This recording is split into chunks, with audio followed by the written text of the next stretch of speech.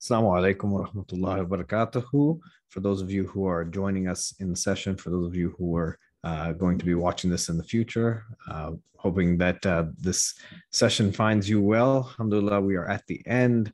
Uh, it seems like it's just sped by of this 10 part series of the life of the Prophet. And again, by no means is this any exhaustive or conclusive series for the life of the Prophet. You can't really cover much in 10 sessions, let alone a, a lifetime. And so it is a continuous thing. But hopefully, we've touched on some elements in this series that uh, can pay for a lesson going forward for each of us and uh, for different ways for each of us in exploring the life of the Prophet as we are comfortable and where it meets us. And so last time in our session, we had covered the uh, some of the seminal events of Islam, some of the uh, more closing chapter events. We talked about the conquest of Mecca. We talked about the Battle of Hunain, the return of the Prophet to Medina, as well as the farewell pilgrimage and the farewell Hajj of the Prophet and the uh, we covered the final sermon of the Prophet, a very famous sermon that's often quoted, especially in our times today, especially in light of some of the issues our society is facing from racial injustice to gender inequality. Uh, these excerpts are often lifted up uh, as a model to see what Islam was built upon, but also uh, what the Prophet had taught. And so just jumping into there today, inshallah, we will uh, conclude the life of the Prophet ﷺ, going from uh, just recapping a bit of that farewell pilgrimage, because I think that there's so much uh, richness to be discussed in that farewell pilgrimage, but also uh, into the passing of the Prophet ﷺ, into the death of the Prophet ﷺ, and uh, more so the rest of the session, inshallah, after we cover some of those facts, we'll go into uh, what is called the Shama'il. The Shama'il is kind of the inner characteristics, the personality, the beauty of the Prophet ﷺ, some of those intimate details, and we'll focus on his character, his mannerisms, so that uh, the hope is that when you leave this session, that when you leave this series, that not only are you aware of some of the basic facts of the Prophet, not only are you aware of some of the uh, life events or any of these basic things that we may cover in any other class, but that you also are familiar with the Prophet as if he was uh, in your own time, as if he is someone you can conceptualize, because we might not have the Prophet ﷺ with us, but oftentimes you may see the remark made that this person, such and such, has prophetic qualities, that their, their character is great, that their mannerisms are nice. We, we know people like this who are there. And now we're going to conceptualize the Prophet ﷺ as that person uh, based on the reports that are there. So based on the Shama'il that are that are related. And so, as I mentioned, we'll dive into uh, leaving off where we are starting where we had left off with the farewell pilgrimage, and then transitioning, inshallah, to uh, the remainder of the life of the Prophet after that. And then afterwards, we'll cover these intimate details, these characteristics that had come up, just a few of them there. So, Bismillah, let us go ahead and start. As we had mentioned, the farewell pilgrimage of the Prophet was uh, the one and only Hajj that the Prophet had made. And so, uh, a lot of the the fiqh that is derived, the jurisprudence, the rulings around Hajj uh, are surrounded on the uh, are, are kind of centered on this experience. So different reports of what the Prophet had did. Uh, this was what uh, is the source of material for that. He had done it once, and so uh, any report that comes from there uh, is often seen as authoritative for what Hajj is supposed to be like, the rites of Hajj. What are you supposed to do? What are you not supposed to do? All these different things. But we mentioned that the Hajj had occurred uh, 10 years after the migration to Medina. So just thinking about in the back of your mind as well, how recent it is still uh, the exile of the Prophet is, the persecution of the Prophet was, how how recent that was. It wasn't that it was almost multiple decades over. It was, you know, just 10, 15 years earlier that he was experiencing this. And 10 years is in the stretch of time, not a long time at all, uh, especially within our own lives. When we think about what happened 10 years ago, it's actually not too far away. It's not something too distant. It's something that we still generally remember uh, within our collective memory. So, but it is within the 23rd year of the revelation. So the Prophet ﷺ has been uh, has been uh, serving and has been uh, you know, in the role of the prophet for quite some time now. Uh, but you can tell he's spent about 10 years in each in each city. And so he's had a different experience there. But uh, he, he's had a holistic development from uh, being a community on the margins to now coming into Mecca as its undisputed leader of the of the Arabian Peninsula. And so, and so we mentioned last time how the Prophet ﷺ had uh, you know brought pilgrims from all over Mecca, you know, estimated 30,000, 50,000, 70,000. There's there's a high number that's there. Um, and uh, what what was the keynote of this Hajj uh, was the final sermon that that still resonates with us. So I just want to briefly recap that final sermon one more time before we uh, jump into some of the final actions of the Prophet before his passing. But just to remind uh, us that at that final sermon, the Prophet had made hints of the fact that he would probably not be with the Muslim community come next year. He was making hints that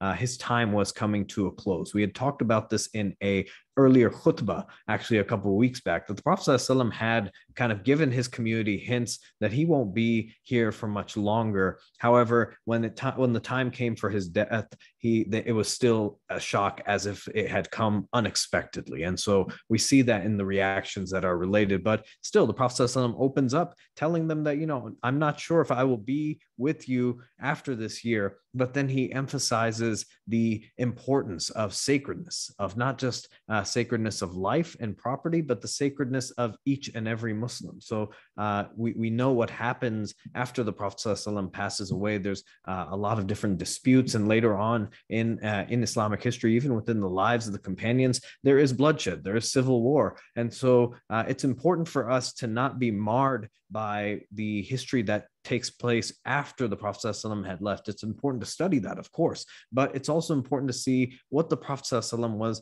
trying to lift up to everyone before he had left, uh, before he had passed away. And the first thing he lifted up was the importance of each and every one of uh, their lives, their property, and the sacredness of uh, each Muslim's life. And so, uh, lifting that up in the subconscious of the Muslims that were there, lifting up the fact to not hurt anyone, to not harm anyone, uh, lifting up the fact of accountability towards God. So the Prophet ﷺ is reinforcing these things that if he is not there, for the Muslims to be cognizant of. And we see that many of the Muslims at later times had been mindful of this and had not participated in any kind of fighting or civil war, any kind of conflict. But we see also that some of the best Muslims had engaged in that. And so, you know, having to reconcile with, with their actions later on. We, we also mentioned last time how the Prophet ﷺ had mentioned in his farewell sermon that uh, you know Satan lost hope of leading you astray in the big things, talking to the Muslim community, leading you astray in big things, as in you know uh, taking up different gods and things like that, but be aware of the small things, the little things. And so now the Prophet um, is making them aware of the trials that will take place. That just because you have conquered, just because you are now the established religion, doesn't mean your trial is over. This is just the beginning of the test. And so you might not change or waver in your religion per se, but there's going to be a lot of different thorns along the path. And so be aware of those the Prophet ﷺ lifts up the needs and the rights of women. Uh, and he, he specifically names uh, women and, and giving precedence and giving due diligence and rights to uh, women and to wives over men, and vice versa, that your wives have a right over you and men, you have a right over your wives. So establishing this parity that previously didn't exist in the society. Remember that, uh, you know, oftentimes we look at the biography of the Prophet we look at the example of the Prophet from our lens here, from our time and our focus point in society, and we're like, why didn't the Prophet do more? Why didn't he push more? Why didn't he, you know, go beyond and actually, you know, establish something that maybe we have today that wasn't there at the time? Uh, it's really important to look back at the time that the Prophet had come again, just 10 years, just 15 years earlier, you see the different practices that are taking place that are prevalent within the non Muslim Arabian society, in which women aren't really given much property rights, with the exception of a few women, um, like Khadija, who, who may uh, you know marry into a family where, where it actually works out, but uh, not having uh, general property rights, divorce rights, other things that uh, really help them mobilize and mobilize mobile uh, and move upwards in the social ladder. And Prophet ﷺ, by uh, leveling that playing field by establishing and helping to ground things such as basic as divorce rights, as basic as inheritance rights, as basic as general human rights. Um, he establishes a framework for upward mobility, which previously did not exist, with the exception of some very rare situations. And so it's very important to see the Prophet ﷺ is not just naming this as a catch-all, but it's very strategic how the Prophet ﷺ is going through the this final sermon, lifting up the dignity for everybody, lifting up accountability to everybody, to treat everybody with no harm, to treat everybody with respect, and to know that Allah is watching. And then immediately from these general lessons, first and foremost, going to those in the community who are who have been often most marginalized. And so lifting up the rights of women, telling the, the companions explicitly to treat women kind and treat them well because they are your partners. So uh, instilling this concept of domestic harmony, because in the previous society, in the previous ways, this might not have been something that was as emphasized. And the evidence of it is clear. We see some tribes previously also engaging in female infanticide. So you see the Prophet have, over the past 23 years having changed the psychology of the people, now giving kind of his magnum opus of a sermon, just detailing what are some of those highlights, what are some of the things to hold on to, to hearken to. And so the Prophet ﷺ also recaps the, uh, the, the pillars of Islam, tells the believers to worship Allah, to pray the five daily prayers, to fast during Ramadan, to give in wealth, to give in zakat, to do the Hajj again if they can, uh, reminding them again, going from uh, the marginalized and still staying on that, that all humanity is from Adam and Eve, and that the uh, the Arabs don't have a superiority over someone who's not Arab, that uh, blacks don't have a superiority over white and that whites don't have a superiority over blacks and that uh, accept any of these differences except any of these people have a claim to being a uh, being higher or being greater than one another is by piety and good action. Again we see that the society that was in pre-islam the arabian society at this time was not just a socially stratified society it was also a racialized society. We see how people especially from abyssinia especially from africa Africa, especially from uh, places where uh, their skin tone was much darker, were treated as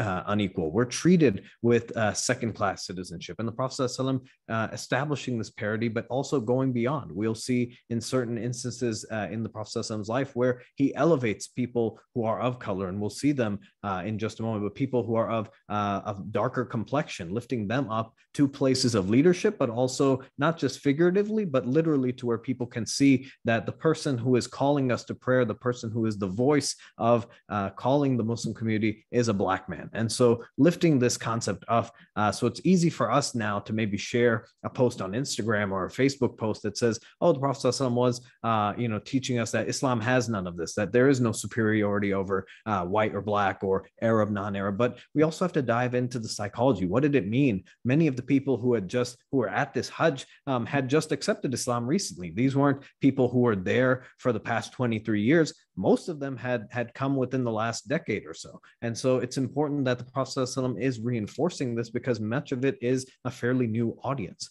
we see the Prophet ﷺ also then go from lifting up the margins to then reinforcing the ties, not so much the exact tri- ties of tribalism, but talking about the ties of Islam, that Muslims are uh, like brothers and sisters to one another, and ultimately they are one uh, brotherhood, one sisterhood. And again, uh, reinforces to the Muslims that they will be accountable to Allah, that they'll be accountable to God, that after him there will be no new faith. And so holding fast to the book of Allah and to the example of the Prophet ﷺ is where the success will lie for the Muslims if they hold to it.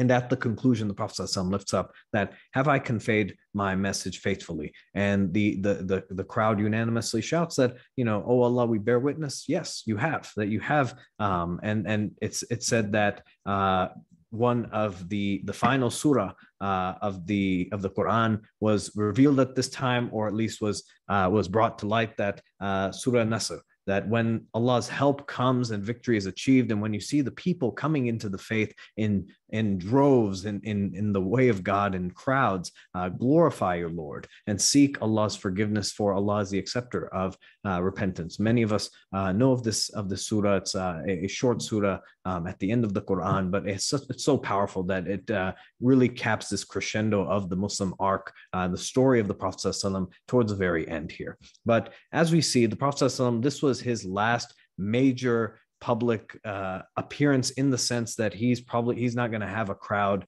of this size again. Uh, we, we talked about over 30,000 40,000 50,000 Muslims that are present. Uh, they most of them will not see the Prophet ﷺ again at this time. And so what he states in his final sermon is oftentimes the last thing they might hear from him uh, until they go back to Medina. Some things to lift up that the Prophet was not just simply talking the talk as all situations. He also walked that walk. And there's uh, a very significant incident that had occurred, not just uh, for its uh, black and white issues, but also just because you see the Prophet ﷺ put into place uh, different things in the uh, into the mindset of this community, which previously they were still wrestling with. So one of the final actions before death, the Prophet ﷺ had uh, commissioned a expedition to Syria.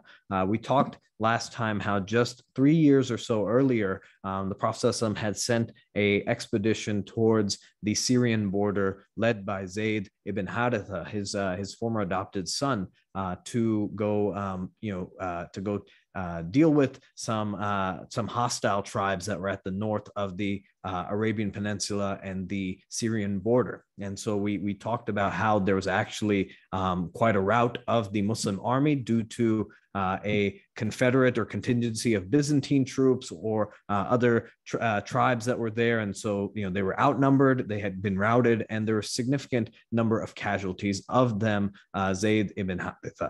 And so three years later, the Prophet comes back, uh, and the situation is relatively the same at that uh, at that place. And so, as the Prophet is wrapping things up, this seems like one of those things that is uh, is a loose end that needs to be tied. And so the Prophet commissions uh, Usama ibn Zayd. Usama ibn Zayd uh, was the son of Zayd, who had been martyred three years earlier. But Osama at this time was maybe a young man. Uh, some of the reports have him as a late, uh, in, in his late teens, maybe 17, 18. Uh, some of them have him in his early 20s. So regardless, he was a young man. And so uh, the Prophet appoints him as the leader of this expedition. And instantly he is criticized by some of the more senior people, by other people in the ranks who, uh, who, who see his leadership, who see him and his age as an impediment. That he, where did he, you know, get the uh, get the get the right to hold that flag and be the leader? Um, he's just a young kid. He's just, you know, he hasn't had that much experience. What about one of us? And the Prophet it's really important that uh, why the Prophet defends him is not just from like an action of nepotism, but what we'll see is who Usama was as well. The Prophet tells them, first off, that you contest his leadership and you oppose his leadership but uh, you have already contested the leadership of his father. When when I appointed him, you also had some stuff to say, uh, and he lifts up praises of uh, Usama, lifts up praises of the son of Zayd, how he is one of the most beloved to him, how his father was of the most beloved to him. So the Prophet tells him that no, this isn't just you know just me just throwing it, but there is there there's precedent here, and you you guys have had a hard time kind of dealing with him and his father, uh, even though they are the most beloved to me. And so uh, the Prophet ﷺ lifts up Osama as the uh, leader, as the general, as um, you know the the head of this expedition. But also uh, it shows that the prophet confirming this choice uh, that neither a man's social or, or a man or a woman's social origin nor their age uh, prevents them from should prevent them from exerting authority uh, and power if they instead possessed spiritual intellectual and moral qualities required. So osama might not have had the track record of all these different battles or being at many of the battles because remember he's just a young kid. So for many of the battles, he was too young to participate. So how uh, would he, you know, how, how is his track record going to compare with someone who's been able to go to all of the battles? But uh, we see the Prophet lift up different aspects of uh, uh, Usama. He, he's known as the beloved of Rasulullah, the beloved of the messenger of God. Uh, and so the Prophet sees something in him that the other people can't see on, uh, on his, on his CV or on his resume. Hey, you only have maybe one or few, two battles here. You don't have all of this, uh, the Prophet sees beyond that. That it's not always just about your resume. It's not just about your worldly accomplishments. It's also about who you are. But in this in this lesson, the Prophet also taught his companions not to power grab, to instead be comfortable with delegating authority, to engage also the youth. The Prophet uh, in in this in this kind of uh, final um, you know action, one of the final actions, has so many lessons packed in because we see now in our communities, we see now uh, in our mosques, oftentimes power is held not just by one group of people, but by, by one demographic, a general age group, uh, age range, and oftentimes youth are left at the margins. Oftentimes, certain people are left at the margins, and especially if they're not of the same uh, ethnic origin as maybe the folks who are at the top at the mosque. And so there's a lot of disenfranchisement that occurs. And the Prophet is teaching the Muslims at this time that it's okay to pass on the torch to other people. It's okay to engage other people because they might not have the all the literal experience, but if they are good people in heart, if they are sincere, uh, and if they are um, you know genuine in their in their intentions they should be given that opportunity and what's even more important is that uh, if we recall Osama was the son of Zayd. Osama was the son of Zayd and Umm Ayman. If we recall who Umm Ayman was, Umm Ayman was uh, the Prophet's um, kind of caretaker. She was the servant of his grandfather, Abdul Muttalib, and she was an Abyssinian slave uh, Zayd ibn Haritha was a uh, Yemeni slave who had been who had been freed. So now just think also the complexion of Osama is one that is very dark. Uh, he's he's very close to uh, what we might call black. Uh, and so we also see in this in this aspect where uh, the Prophet ﷺ has throughout his prophethood had to deal with not just non-Muslims but companions who will curse other companions or make fun of other companions because of their uh, their racial complexion or their their color of their skin. We see how Bilal was uh, was ridiculed by a companion as the uh, a son of a black man, and the Prophet ﷺ had uh, had criticized had uh, had uh, corrected that companion for uh, for even you know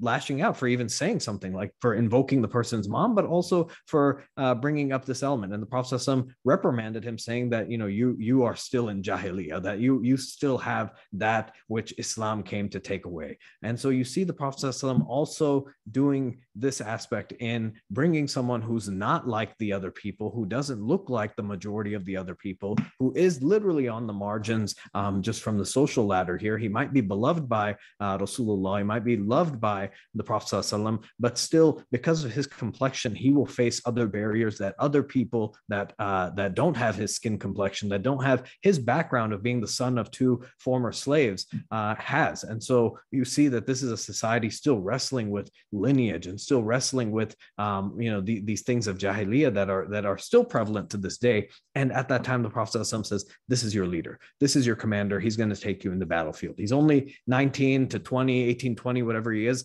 Um, but he's also uh, someone who's black. He's someone who's uh, darker complexion than you. Uh, and by the way, he uh, he's one of the most beloved people to me, and he's going to be your leader. So you see that some of the criticisms that probably came towards uh, Osama were probably not just because of his age. There's also this ethno supremacism that this ethnocentrism that that that is taking place. And so we also, before we close out on Osama, it's very important to lift up that Osama, I believe if we had discussed it in the previous sessions or not, uh, Osama had uh, on a previous expedition earlier uh, had gone out um, with an army, and uh, if we recall, he had uh, you know been fighting with uh, this this combatant, and the combatant threw down his weapon and sat, uh, you know, threw his hands up and professed that uh, I bear witness that there is no God but God and Muhammad is a messenger. He says the Shahada, he essentially becomes a Muslim at the time.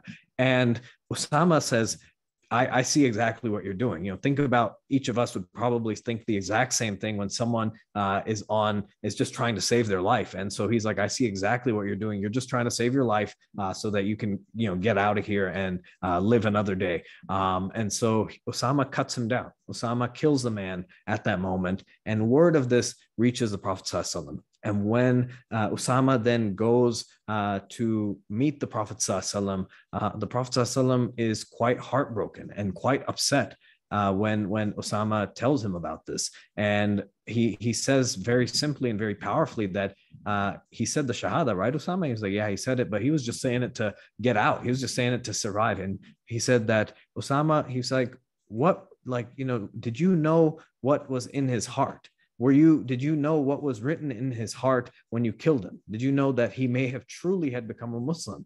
And he said, and he even further, you know, reprimanded him and said, Osama, what will you do on the day of judgment when that person's shahada bears witness against you?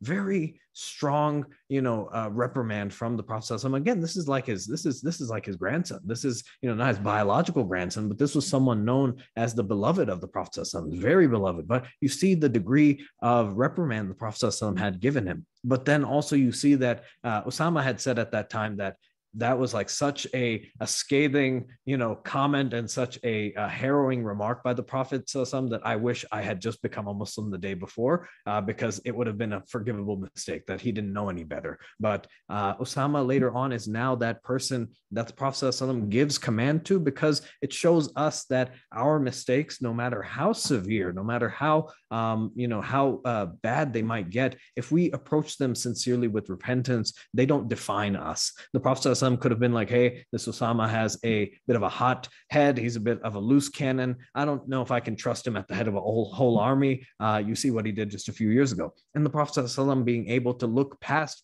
people's faults, like he did for so many of the companions, to look past their faults and see that their mistakes don't define them. And so in our society today, we oftentimes count how many chances do people get? How many uh, things do people get before they're bad or before they're good? We quantify these things, and systems are built on this that, hey, how many crimes do you commit before you are forever put away for a certain time? And so it's important for us to look back and see how the Prophet ﷺ took one of the most severe uh, instances of transgressions across in, in, in a situation of battle, um, taking the life of a Muslim, albeit someone who just had professed it at the moment. But uh, the severity of that, but yet still the Prophet ﷺ being able to lift this back up. So when we think about the criticisms against Osama, think about this as well. Some of those people may have been with him on that expedition, seen what he had done. So they might not have seen a racial component or maybe just the age component. They might have just seen that, hey, this person had cut someone down who uh, had professed they were Muslim. So there's probably other concerns. And the Prophet ﷺ going to the extent to say that that doesn't define who you are. If you approach that with a sincere, spiritual, intellectual, moral type of uh, a um, type of forgiveness, a, a, a, type of repentance that that's there. And so that goes for, for Osama. So this is just, like I said, there's so many other incidents that, that we can share that are like this, but this is one to lift up uh, the, the life of the Prophet especially in this time and the actions he was taking that don't just have an impact on that time or for that expedition, but for us as we are living in a society that is highly uh, divided, that is highly stratified, racialized, and how to navigate this when we are often put into different corners. Now, towards the final days, the Prophet ﷺ was visiting uh, the graveyard, uh, Baqi al Gharqad, next to the masjid, next to the mosque in Medina. Um, and so he had one time, just a just a quick side note, uh, we talked about how the Prophet ﷺ on a uh, separate kind of expedition was uh, returning back, uh, and he had you know stopped the caravan uh, to Medina, and he had stopped the caravan and he had just kind of gone out uh, in the middle of nowhere at this time. It's kind of dark. And so the companions start to wonder where, you know, where'd the prophet go? And so they start to hear this loud kind of like this, this crying. They start to hear uh, someone weeping. And so they run to the, this abandoned, this kind of, you know, uh, dark area, uh, and they see the Prophet is uh, just on his knees and, and he's just sitting there. And so they think something has happened. They're like, Prophet what, what, what is what's wrong? Um, and he tells them that this is the grave of his mother. Almost 50 years later, he said, "This is where my mother is buried." Um, basically, that that I miss her. Uh, and he says that previously I had prohibited you from visiting the graves um, as it may, you know, just just as uh, at that time previously I, I, had restricted you or prohibited you, advised you not to visit the graves, uh, but um, you should go visit the graves for they are a reminder of uh, death. They are a reminder of the hereafter. They're a reminder of the life uh, that is to come. So they serve as very powerful reminders. And when they saw the Prophet crying, they all themselves, uh, being as connected as they were, also started to cry. It wasn't their mom, but by seeing the Prophet in such pain, uh, seeing him in such a sort of grief. Remember, he's he's over 50 years old. He was six years old when his mother had passed, uh, and he's just sitting there still remembering that uh, where his mom passed away, still remembering where she was, keeping that connection, but for a purpose that benefits us all today. So at the end of his life, we see him going to the graveyard frequently, where some of the most closest companions are buried, where his daughters are buried, where his son is buried, where his uh, two of his wives, uh, or actually one of his wives, uh, are buried. And so we see uh, how the Prophet has not just a connection to the people who are there, but also uh, he goes there and he, he his lesson is that he is reminded of the hereafter. He is reminded of what is to come, but also going to the graveyard to pay respects to those companions whom he uh, hopes to meet soon, whom he will see soon. And so uh, a companion is with him at the time by the name of Abu Muayhiba. Abu Muayhiba uh, is with him, and the Prophet ﷺ has uh, informs him. Again when you see that the prophet is dropping these kind of hints that uh, hey you know my time's coming to an end you see how people are it just goes over people's head. Like they're they're they're, they're completely missing it because it's it's just outside of the realm of possibility for them that uh, someone as focal as the prophet the person who's the bedrock of the city the bedrock of islam is going to leave. And so abu muwayhiba uh, is told that uh, the prophet says uh, i've been offered the keys of this world and basically eternal life followed by paradise, um, or I have the chance to uh, meet my Lord. Uh, and you know, which, which, do you think I should choose? And he was like, oh, Prophet stay with us forever. He was like, you know, just uh, take the keys of this world, um, you know, be with us forever. Uh, that would be best. And uh, the Prophet says, I've already made my choice, and my choice is uh, to meet my to meet my Lord. Um, and you know, he Abu Muayhiba may have gotten it, may have not, but you know, doesn't seem to have sent any alarms ringing off. But it's it's also that, oh man, like you know, you're kind of sad, but it's, it's just something that's said. And so uh, we see later on as well, the Prophet at different gatherings in the mosque hints at his passing. He hints at his passing to the congregation, to his followers and community, but they still don't believe him. Um, at one incident, only Abu Bakr gets a gets a you know gets a catches his drift and sees what he's saying and starts to starts to weep. And so the Prophet lifts up Abu Bakr as uh, in his character and in his sincerity. So Abu Bakr and some of the more closer companions and family of the Prophet were probably the ones who were like knowing what what is going to happen. But um, you know, we see as the Prophet ﷺ, uh, goes on, his condition starts to cripple. Uh, he, he gets a very uh, strong series of headaches, some migraines, uh, and his condition progressively deteriorates. Uh, he eventually can't stand for prayer. Uh, there's some incidents where the Prophet ﷺ has the companions pray sitting sitting behind him. That because he's not able to stand, they can they can sit down as well and he has uh, a, a, desire to spend his final days with uh, his wife Aisha. So when he spends his final days with his wife Aisha, this doesn't mean that nobody else is allowed to visit. We see family, uh, we see companions coming to visit, and there's one very powerful incident in which the daughter of the Prophet his last surviving child. We talked about how uh, five of his six children had passed away, and Fatima was the only one to uh, outlive her father. So just thinking about uh, the significance of that, we probably can't really get over how how, how significant um, this was for the Prophet sallam, uh, but also for Fatima for seeing her siblings pass away, uh, but also for a, a, fa- a, parent to have to bury their child uh, not one but uh, over five times. And so Fatima uh, comes to visit the Prophet sallam, and Aisha is there, and she sees the Prophet sallam whisper something to Fatima, and at first Fatima starts to tear up, starts to cry, and then the Prophet sallam comforts her and says something else to her, and then she starts to laugh. And later on down the line, uh, Fatima tells Aisha because she's curious. She's like, "What did what did he tell you?" Uh, and she said that uh, you know this that the illness that he had, the um, the sickness that he had, uh, it would he wouldn't be much longer. He's going to pass away because of it. Uh, and so she started to cry but he had told her that uh, the first of my family members who will meet me uh, or who will who will join me afterwards after I pass uh, will be you. And so uh, at this, she had uh, she she she had found joy. And so for us, it might be hard that oh he's like you know making a premonition of somebody's death or whatnot, but we see the connection of uh, the Prophet ﷺ to each of these people. The Prophet ﷺ, especially to the people of his household, that they weren't just ordinary folks, that he held them in such a high regard um, that Fatima, his daughter, was someone who would come into the house and the Prophet ﷺ would always stand up for her. He would always show her this respect that he's sitting. He wouldn't show this for most of the other companions or any of this other family members, but when she walks in, he would stand up he would stand up and you know have her sit where he's sitting and then you know give her that full attention give her that respect that uh, we oftentimes don't see uh, in society when it comes to uh, when it comes to daughters. You know, we, we have an easy time criticizing tribes way back when that would bury their daughters, but we don't talk so much about how daughters are still uh, mistreated and still put on the margins uh, and abused by families that are in Muslim countries. And so we see in this example, the Prophet has a severe respect for Fatima. He's not he he's not uh, you know just just saying something just to make her happy, but he's giving a sincere um, you know uh, prophecy in this in this respect. And Fatima as well reacting as such that she you can see the the sadness that is there when she realizes the Prophet won't be there anymore. But these folks did not live for the dunya. They did not live for the present, the just the worldly matters, especially the family of the Prophet, especially uh, Ali and Fatima uh, and their family. They didn't just live for this world. They they knew what was the true goal. And so when the Prophet says, "You'll be the first to join me of my family," um, th- this this shows a sincerity of hers in faith, and that she's excited about this because that that that gives you something to look forward to. That I will see the Prophet and hey, before anybody else, it will be me.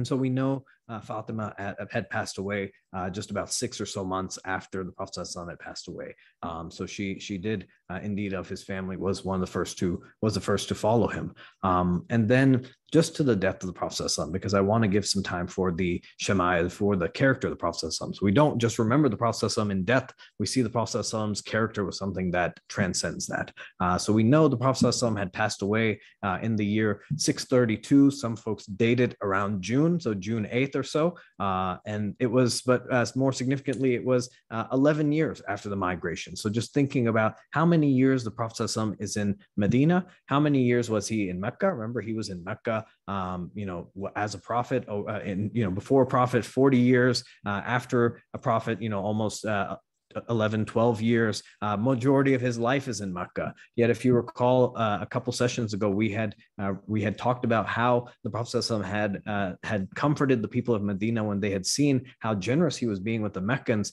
that I'm going to come back with you all. That Medina held such a special place not just within the tradition of Islam but for the in the heart of the prophet that he was willing to go back to Medina uh, his new home over the place he had lived over 50 years. So there's a lot of significance and a lot of blessing that that is there in Medina, and you really feel it if you go to Medina. If you go to Mecca, Mecca is still that kind of trade city that has fast pace. You know, people's mannerisms are very similar to uh, going to a place that's very busy, like a New York City type deal. And Medina has a very tranquil feeling to it. it has a very different feeling to it, uh, and and you can see that there there was an aura about it that whether before or after the Prophet that that still lasts. That's there. The Prophet ﷺ, uh, in his final days joins the congregation for prayers or tries to, but uh, is is not fully able to. So there's incidents where he's carried to uh, the the congregational prayer. Um, there's incidents where uh, the day he passes away, um, he looks out on his congregants, he looks out on the Muslim community,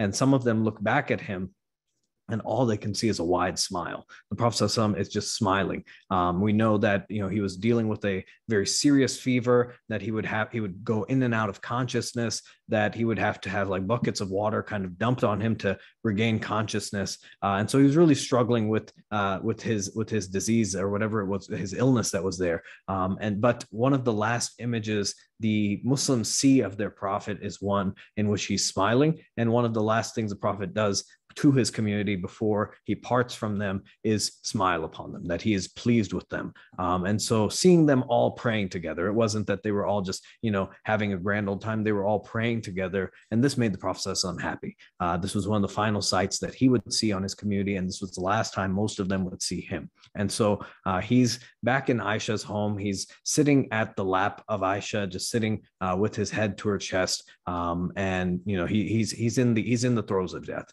and he, he feels it. It's not that the Prophet ﷺ, uh, was someone who was exempted from the pangs of death, because the Prophet ﷺ lifted this up uh, even as he was passing away. That death is indeed a very severe, um, you know, trial or ordeal, and that you know he he himself was having to go through this. But his final words kept being, uh, you know, oh Allah, with supreme communion, with with the best friendship, that ar-rafiq al-a'la, that the the highest friend, the best friend, uh, and he kept on uttering this. Um, um, and the Prophet ﷺ, we're being, you know, we'll talk about this in the Shama'il that uh, the remembrance of Allah never left his lips. And one of the traditions of the Prophet ﷺ was that, uh, you know, the, every everything has a polish and the polish of the heart is the remembrance of allah and we see the prophet ﷺ continuing to do this we'll talk about this in his prayer why he would do this like he's the prophet ﷺ. he's someone who's guaranteed uh, paradise. He's someone who's been forgiven already. Why does he need to go to the extra length to do this? And he continues to do this. But more importantly, as well, as he's going through this time, as he's going through his pangs, um, he also does not lose his sense of humor. He doesn't lose who he is and just center everything on him.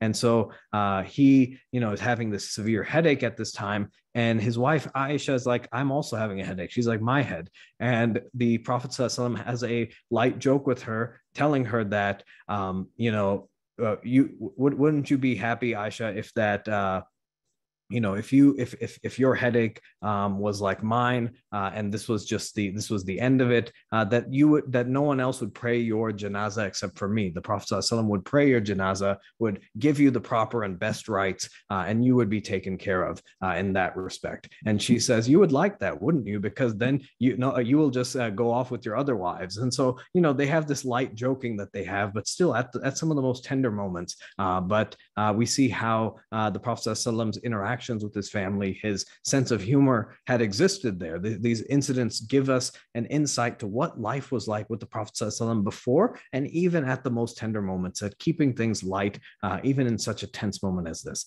Eventually, uh, as we know, the Prophet ﷺ, uh, had passed away in Aisha's arms, uh, in her arms, he had passed away. Um, and uh, it you know just it's it's a it's a scene to be seen someone uh there, there's a um a tradition that that recalls that on the day the prophet ﷺ entered medina the city was engulfed in light uh, you know the name of medina medina al munawwara the, the the the lit up city um and on the day that he passed away, the entire city was enveloped in darkness. And uh, we, we, we know of so many different reactions that are taking place, but uh, we talked about this in an earlier khutbah. What why this was a significant passing. We'll come to that in a second. But uh, of the most significant reactions taking place was of Omar. Uh, Omar had uh, come to the mosque hearing that the Prophet ﷺ had passed and could not believe it, was quite hysterical, quite angry and livid that anybody could even think that the Prophet ﷺ would die or the Prophet ﷺ would leave. And he threatens to kill anyone who says that the Prophet ﷺ is dead uh, because the Prophet ﷺ has only left in spirit. He'll be back.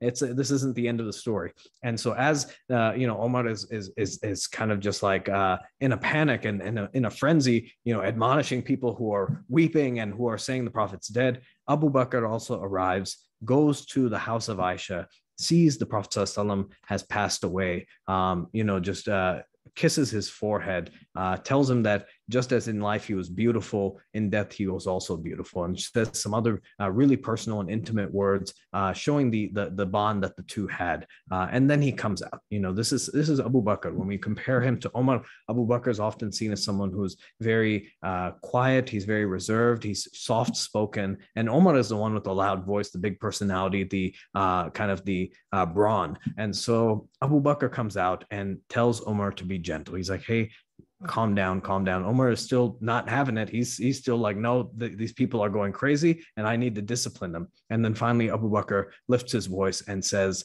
uh, to the crowd that says, uh, "Let the one who worships Muhammad sallam, know that Muhammad sallam, is dead." Very powerful. Just says it point blank. But let them know that they who worship Allah for them, Allah is ever living and Allah never dies.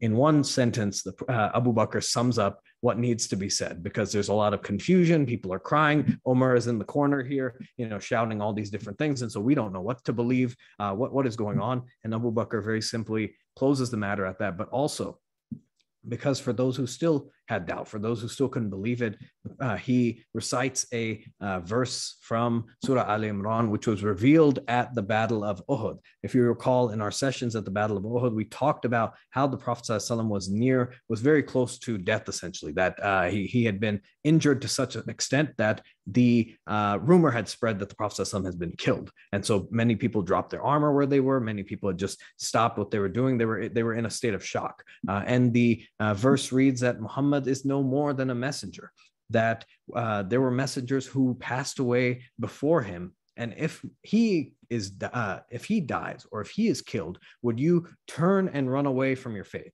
anyone who runs away does no harm to allah in the least and allah will quickly reward those who serve uh, allah in gratitude and then Omar uh, relates that when he heard this verse being recited, even though it was one of the earlier verses in Islam, he felt that this was the first time he had ever heard this verse and he had just kind of broken down. Um, the companions later related uh, after the death of the Prophet that there was no greater musibah, there was no greater difficulty to us that we had to bear than the death of the Prophet. And this is something that the Prophet himself lifted up too, that uh, his death in and of itself was uh, one of the most major trials for his community. Um, you see that this pain was felt for the Prophet holistically, not just because he was a religious leader, not just because he was a Prophet. We talked about this, that he was someone uh, in each of this crowd. He's connected to Abu Bakr and Umar, just for instance. He is not just a close friend of them, but he is also someone who is uh, their, you know, he, he is their son-in-law. He is married to their daughters. But to all the people that were sitting in the mosque, to, to the city that that wept for him, he was a neighbor at the least. He was a friend. He was someone who was a husband to some. He was a prophet to all. He was a caretaker for many. He was an uncle. He was a brother. He was a cousin. He was all these different things. And so everybody who was in that city, who was in that setting that were there, felt that when the Prophet was with them, he made them feel like they were the only person that mattered in the world. He, he honored them to such an extent. So just think of someone who gives you such a holistic experience and such a type of uplifting that uh, you know when you when he passes when that person passes that you don't just lose someone who is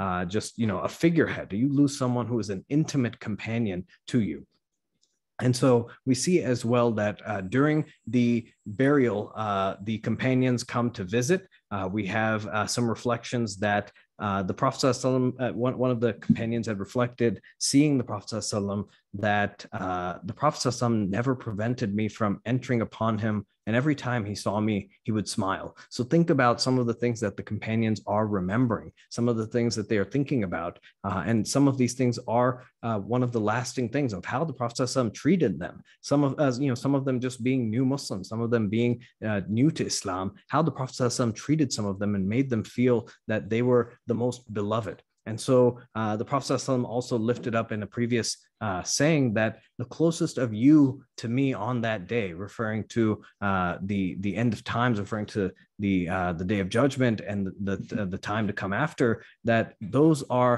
the ones who are best in character. That I was sent to perfect human character. And so those of you who spend your lives working on your character will be closest to me. And as I mentioned, the uh, what we'll discuss today is what some of those characteristics were. The Prophet ﷺ didn't just come to establish a political mission, was not just someone who came to reveal a religion and then leave. The Prophet ﷺ was someone whose example and through whose example other people, uh, their struggles, their successes are a lesson for us to not just see how we can also you know have this this shadow or this this type of uh, light of of, uh, of a prophetic model but also how to be a good friend how to be a good neighbor how to be good spouses how to be good kids how to be uh, you know good caretakers, how to be responsible people who are civically engaged, how to be people who are upholders of truth and justice. All these different things were in the Prophet. So, uh, just as a final note, we see that Medina at that time and the people of Medina did not just lose a prophet, did not just lose uh, Muhammad uh, as we know the Prophet to be now. They lost someone who was a very intimate companion to them that was almost as much, if not more, to them than their own families, that was closer to them than all of these relationships. So think about in our communities, in our societies, someone who is so uh, you know integral that is so um, you know just so key to our society, to our communities. It might be our mosques, it might be society as a whole, but just think of that one person. You might be that person, but just think of that one person that does all this stuff that people know, people have such a high respect for, and people can't imagine what would happen if this person is to be gone. Now, think about that in the context of Islam, in the context of Medina, and the fact that the Prophet was also someone who's taken away. But also think about the reactions that took place there was room for that hysteria. There's room for that disbelief but then there's also time and there's also a place for the uh, for for what needs to be said for someone to be able to say that uh, you know the, the the show must go on that you have Abu Bakr stepping up to the plates Abu Bakr not being someone who is a statesman not being someone who's known to be very vocal or loud on the mic or the loudest person in the room. He's one of the more shyer people that are there. He's one of the people who are uh, who who don't choose to be in the center that this person chose to speak out when he knew that uh, the the time called for it. And so saying to the other people that you know Muhammad is was just a man, and that this faith, this religion will continue even without him because it's it's about God. God is the one who uh, whom we worship, not Muhammad sallam, and God is ever living. And so it is very important for us to also be able to see that that we will encounter difficulties. We will uh, experience tremendous loss, some of the most significant loss in our lives of our parents, of our loved ones, uh, of very influential, very key community leaders, and so on and so forth. But we also must remember that at the end of the day, that uh, that life that uh, as a whole time does not stop for that person. Recall when the prophet had said that uh, when the companions had said after the death of his, his child Ibrahim, his only son in Islam had died, uh, there was a solar eclipse, and the companions said, "Look, like even even nature is, uh, you know, is is recognizing the sadness of this day." And the Prophet telling them, "No, that these are signs of Allah, that the, the the moon and sun are on their own fixed axes, and you know they're on their own orbits and whatnot. Uh, that they don't they don't change for anybody." Uh, and so for us needing to recognize that time and the world doesn't stop for anybody, but that doesn't mean we can't grieve. There was complete permission to grieve. You see so much uh, grief being shared, so many tears being shed over the Prophet's life uh, and his death, but you also see that uh, there were uh, there were uh, there was a need to continue. There was a need to keep things going on because prayers are still going to be held. Just because the Prophet has passed doesn't mean we stop doing our prayers. Doesn't mean we stop doing any of these things. So someone like Abu Bakr was someone saying, "Hey, we still have to continue on with life as is." So at that, we conclude with the life of the Prophet.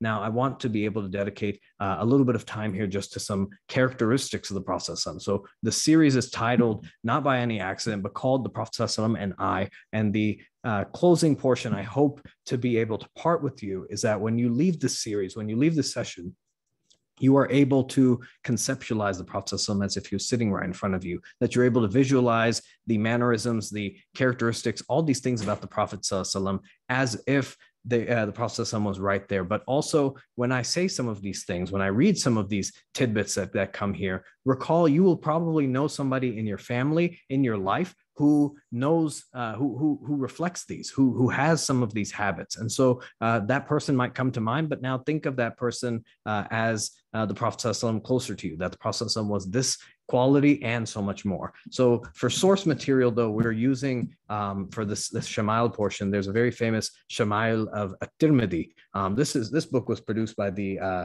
I believe Al Ghazali Institute, the Imam Ghazali Institute, but uh, it's off of the Shama'il, uh, the characteristics of the Prophet based on uh, Imam at Tirmidhi. Um, and it goes into very different details about different parts of the life of the Prophet. But uh, let's let's go ahead and let's jump in for the sake of time and also just to run through these. But uh, the Prophet you know, we, we see the Prophet was very engaged, not just with his uh, with his you know people that were around him, but for the property that he owned, for the things that belonged to him. Something that was as as simple as a garment. The Prophet would offer such a rich supplication on receiving a new shirt or receiving a new garment, uh, tell, praying that, oh Allah, to you is all praise for having clothed me in this. I ask you if it's good and the good that it was made. Uh, I ask you uh, seek refuge from the evil that it might bring, the evil that it might have. Uh, and so the Prophet with each thing, we see that uh, it wasn't just that uh, he purchased something on Black Friday or he had a he had a good deal on something and now he just adds into his wardrobe. But he was connected with each and every single piece of clothing that he owned, with any piece of property that he had, uh, and again that uh, he you would never find him but mentioning uh, the uh, having the mention of Allah, having the mention of His Creator on any aspect. So when he touches uh, books or he touches anything else here that's in his possession, he he recognizes that it's not just his; it is something that's been given from Allah. So again, someone who's conscious about this. We see also the Prophet ﷺ was not a very wealthy person. The person he was not wealthy in, at all. In fact, that he was amongst the poorest of his community, despite being at the head of the state, despite being at the uh, head of the table per se that uh, it was related he would never uh, in his lifetime eat to his fill that he was someone who uh, didn't have the type of you know one pound uh, of brisket and uh, you know uh, side of coleslaw and cream corn that we have here in texas and eat to his full. The prophet some would barely have a little bit of meat or bread. Rice wasn't a staple there. So just very small things that, that were there. He would also as he's eating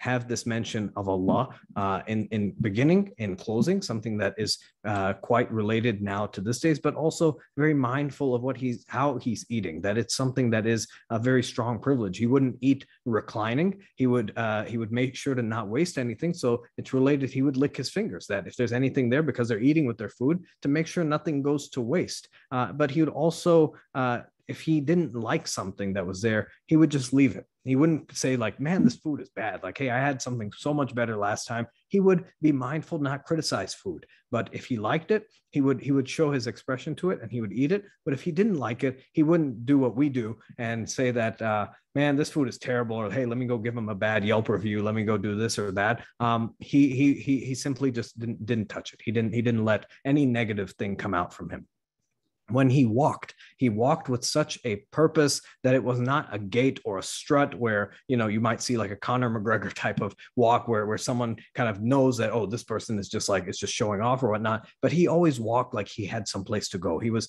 as if it was urgent. So he he he, he walked with such a purpose that when people saw him they're like oh he's he's probably going to go do something. He's, he has a he's he's a he's a busy person. So it showed that uh, he always had something that was going on. What's more beautiful as well as, as his speaking, that the Prophet would not draw out his speech and would speak in terms that were clear, that were lucid, and he would space out his words. He would talk in a way that people could understand. Everybody who sat with him would be able to remember the words that he that he said. And it's very beautiful of this narration because uh, there, there's another narration of a sahabiya, of a female companion who uh, mentioned that she had learned all of Surah Kaf long chapter, Surah Kaf, just by listening to the Prophet ﷺ on Jummah.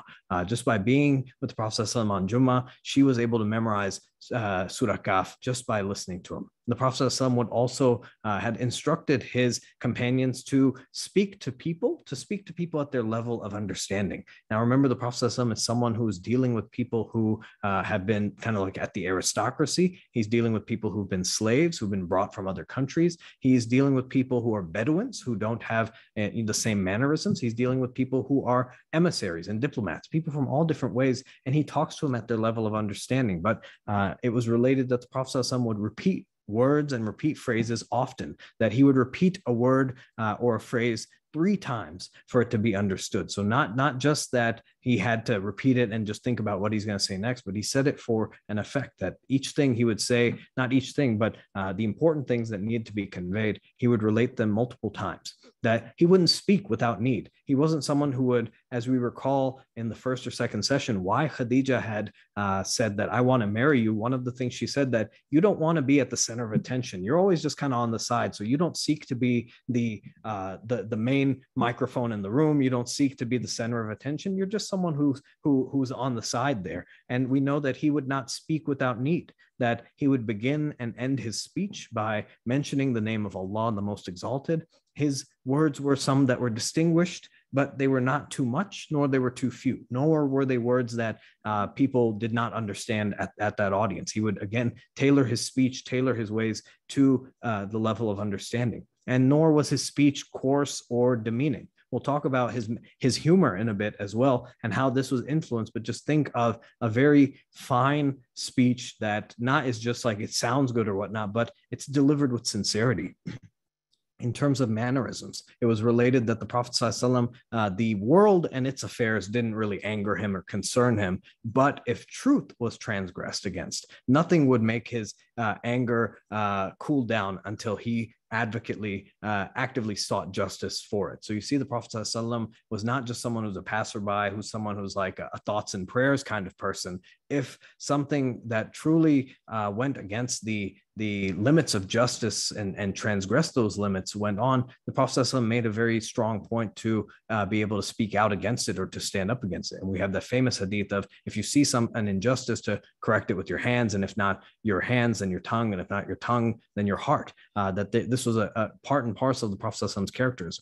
He would point with his whole hand. So sometimes when we have this connotation that if someone points, it's uh, it, it's kind of a bit of hostile. It's a hostile body language. That if I'm pointing to something, uh, there's so many different meanings that are there. But the Prophet some would use his whole hand. He would use his open hand uh, to point to something, uh, and it's a much more inviting gesture. So you see, the Prophet is very mindful of how it is. If he's talking to somebody, he's like, "Hey, yeah, you." Um, you know, it's like, oh my God, did I do something wrong? It already causes them to panic. But if he says, what do you think about this? What about you? Um, so he uses his full hand.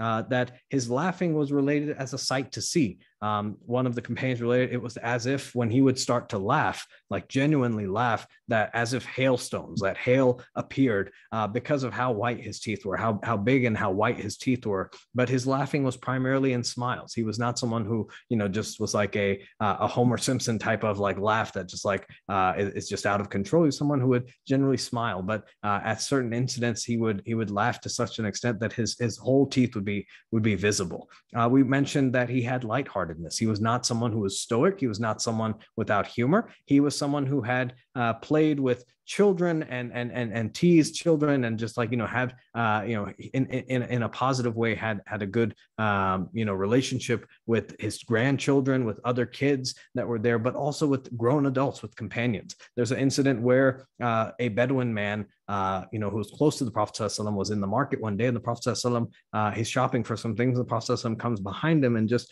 kind of holds him back here and says, "Who will buy this companion of mine?" And uh, you know, the the man is just like, I had no idea who was trying to sell me in the middle of the day. And I looked back and it was the Prophet. And so I was much relieved. But he told the Prophet, he was like, Oh, you're not going to get a good price for me. Like, I'm just a Bedouin. Like, I, I won't fetch any good price.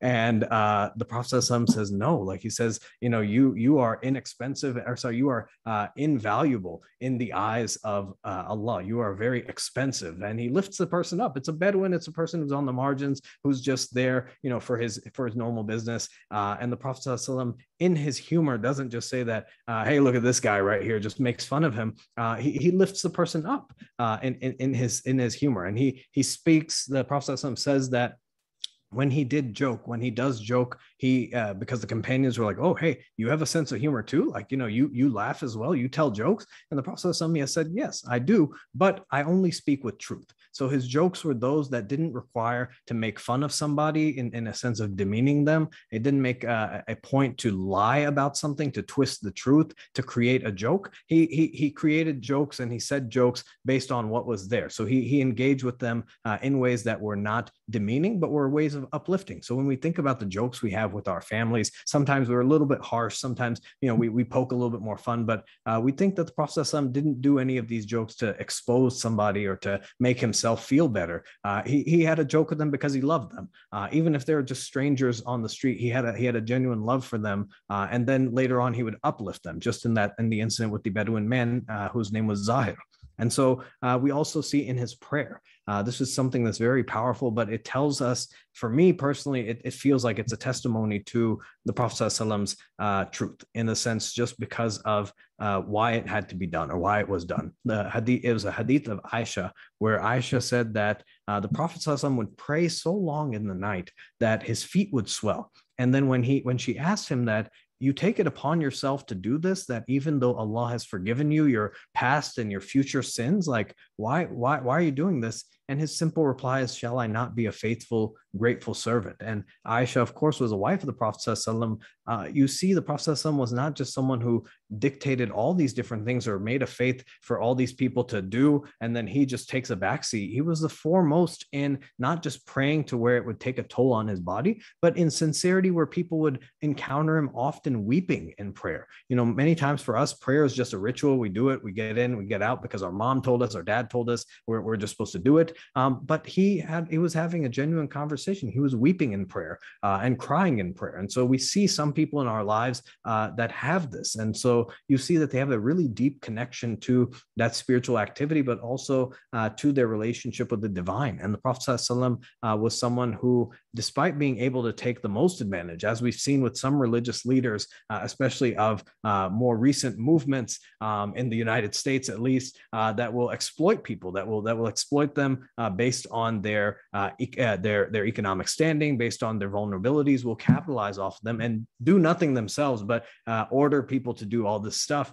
for them. And the Prophet being instead there at the foremost in the time where nobody is going to go into his house and say, Hey, what are you doing? in his private quarters, so that later on his wives would relate that he was somebody who would engage in prayer just like this. And so you see, apart from that, uh, he was an emotional person. He wept a lot, uh, not just in death, because we see how he wept at the passing of his son Ibrahim, at the passing of his daughter Umm Kulthum, but there's relation, there's uh, narratives and uh, uh, related incidents where, uh, on the telling of a sad story, on the telling of something, the Prophet is is brought to tears. Um, you know, we saw he was brought to tears when he saw his mother's grave. Different things like that. He uh, crying was something that was absolutely within his arsenal of emotions. That was within the range of his emotions. It wasn't just like oh my god the prophet's crying like uh, you know this is something uh, quite exceptional. The prophet was someone who's frequently cry frequently show emotion. Um, we see his humility as well. He had advised his community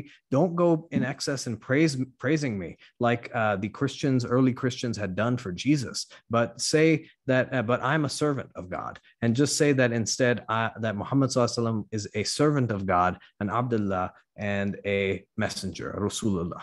Um, and so uh, you see, the Prophet ﷺ had this humility. Again, he could have built on uh, these people's uh, faithfulness to him and really built something quite different uh, that, that we might see in other uh, communities or groups or movements uh, in more modern times. But the sincerity was there that don't praise me to that extent. You know i'm just a servant. I'm just conveying a message. Um, just remember who i'm a servant for uh, there's a beautiful incident where uh, the Prophet, as as we had related, he's approachable by anybody. There's an incident of a woman with mental illness, and in some in some uh, uh, in some narratives in some traditions, she has mental illness. In other incidents, she's just you know uh, a, a, woman seeking um, to, to, the time of the Prophet and so she comes to the Prophet uh, this woman with mental illness, something is something's going on. She comes to the Prophet and she says, "I have a need to ask of you. I need to talk to you about something." And the Prophet says go sit on any street, any kind of side here uh, that you wish. Pick the spot, you name the spot, I'll come sit with you.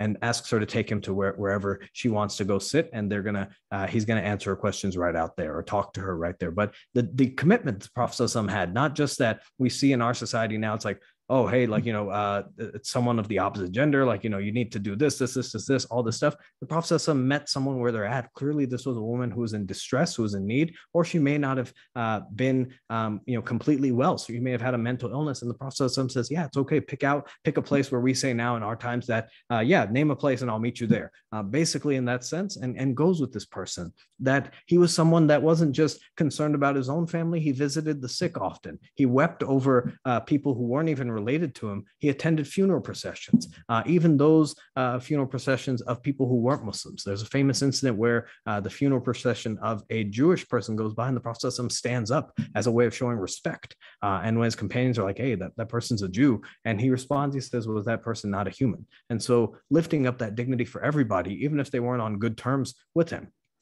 telling his companions as well he has the level, the authority of a king. We remember that uh, people who were coming to visit the Prophet were uh, relating back to their people that man, these people really love him, and I've seen uh, this. I haven't seen this kind of love in the courts of the kings of Persia, of uh, Byzantium, of Abyssinia. These people have a completely different level of devotion to him. Yet the Prophet made a point to tell his companions, "Don't stand for me." Don't get up for me. Like when they it's a sign of respect when you go into uh, uh, when you're in a gathering and like a head of state or somebody comes you show them respect. You stand up. A keynote speaker comes you stand up you do all these things. The prophet said no don't stand up for me. You know stay stay seated. In certain incidences he would tell people that hey arise. That that, that person's your leader. But in general for himself he made a point don't even stand up for me. Stay seated. Uh, and and and you know we, we see how the prophet does that time and time again apart from his humility, we see that Prophet was not just someone who's just a prophet. We had all these different things listed out. One of those things was a family man.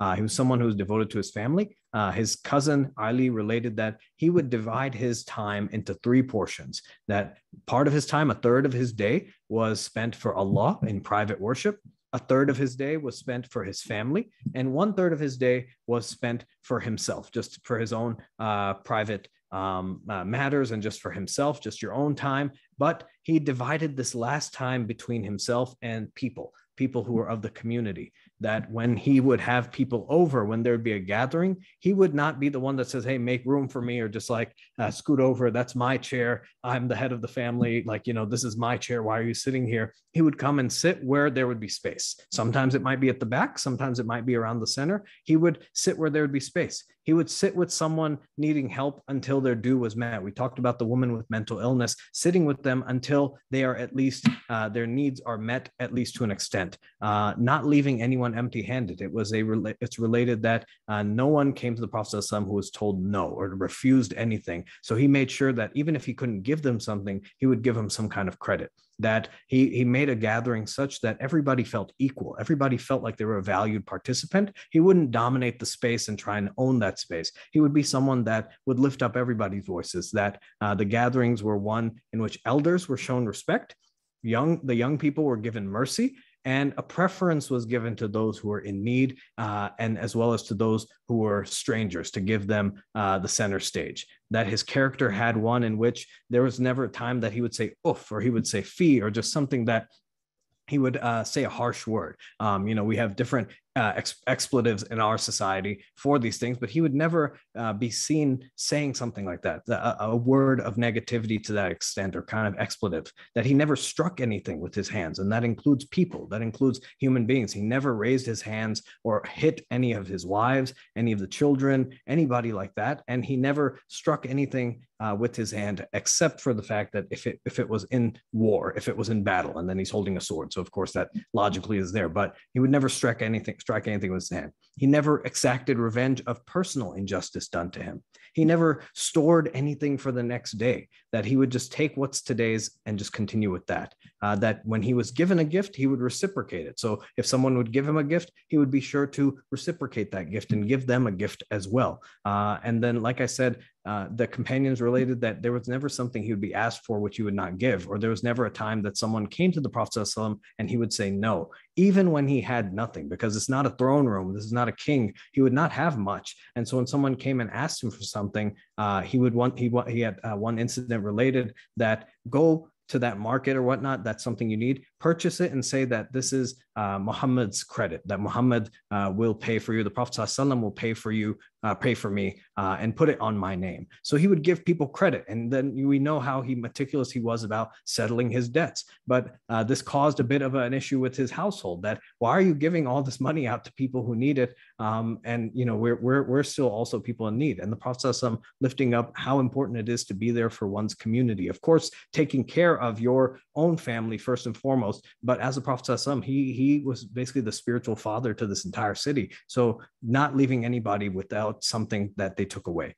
Lastly, uh, the Prophet, as I mentioned and will mention again, was not a rich person, was someone who was in absolute poverty from the moment he had left uh, Mecca, from the time that uh, he had been deprived uh, from the year of sorrow, that he had you know lost much of his business. He was now the Prophet of Allah. He had not had a, an income and you know had traveled to Medina, uh, and he was not he was living on the margins the Prophet was related that at times would be unable to find the lowest quality of dates with which to fill his stomach. That there would be times he would be wandering the streets just trying to find something to eat. Uh, his family, Aisha relates, that would remain for an entire month without sometimes kindling a fire and only would have water or dates to eat.